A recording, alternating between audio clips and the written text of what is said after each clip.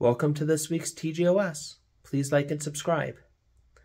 This week we read Parshat Vayera, which has so many important stories that we could spend hours, days, months going over them. We don't have that kind of time.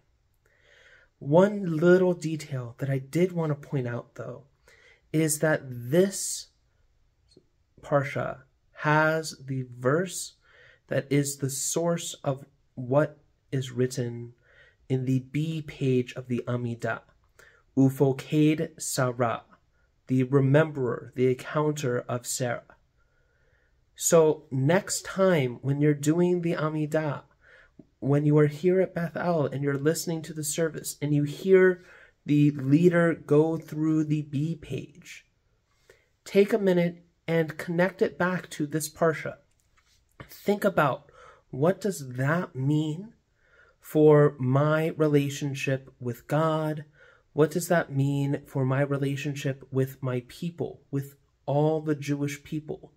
That we reference this and that we find meaning in God remembering, God pakad et Sarah, God remembering Sarah.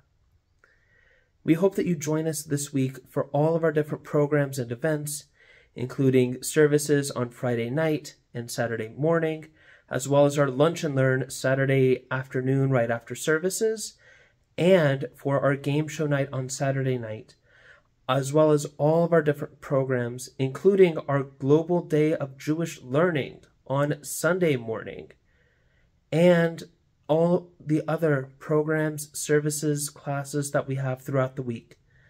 We hope to see you there. Shabbat Shalom Please like and subscribe.